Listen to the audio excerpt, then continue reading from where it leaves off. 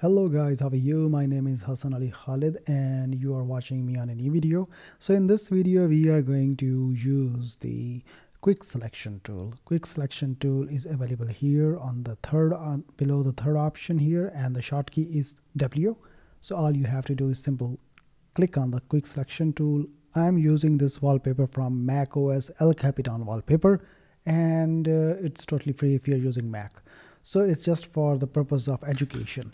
So here we can see the quick selection tool. If you want to select entire sky or you want to use entire grass or you want to use the entire main focused area which is this El Capitan rock here. So we can easily use this one here. So uh, I want to simply select a single click here in the middle and then I want to use this side. So I will click here for example like this one and here we go. It selected this area without even having or without even using any lasso tool, polygonal tool or lasso magnetic tool. So this selected automatically and it automatically detected the areas here. And then now the next area is that the right side. So we have to go select here. So now it automatically selected a lot of things here, but uh, there is still some issue. Like it also detects these rocks and uh, this rocks area. I just want to simply select the only um, sky. So this selection is done but unfortunately we can't use this because this is not sky. It is it has simply these rocks. So for this is for, for this purpose i'm going to again for example deselecting by holding the alt button here. So i will use a deselecting here which is this one so now I can use this here this image as a beautiful level of uh, sky and all we have to use is to simply right click on it and then layer via copy. And now we have the sky area. So it's quite easy to use the quick selection tool to easily and quickly select entire area without even using any other tool just like lasso magnetic or polygonal tool.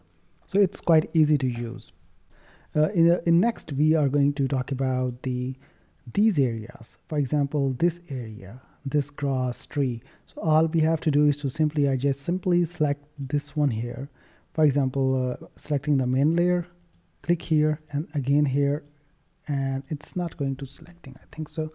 Uh, it's not going to selecting these areas. So we have to move very closely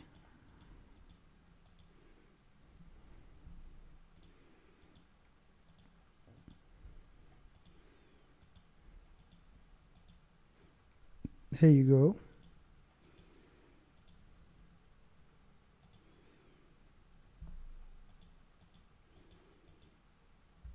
Here we go, we can easily simply select this area, but it's not quite easy to use the quick selection tool on a very uh, kind of a uh, edgy or very kind of a gross level work. But it also works to the sky level. So this is the quick selection tool method and even though you can easily select a lot of other colors if you want to use on it for example you can use this patch here or for example you can use here this color here for example so it's quite easy to use a lot of these things here so this was the quick selection tool and in the next video we are going to talk about the next tool which is the magic wand tool so in the next video I will meet you and be sure to like and subscribe this video and my channel. Thank you very much.